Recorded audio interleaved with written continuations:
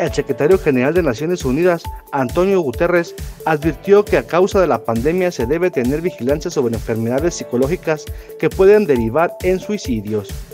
La pandemia del coronavirus ha puesto de manifiesto las décadas de abandono y falta de atención de la salud mental, por lo que se llama a todos los países asumir compromisos ambiciosos a la hora de tratar enfermedades psicológicas en el marco de un posible aumento de los suicidios y el abuso de drogas, indicó Naciones Unidas en su informe diario,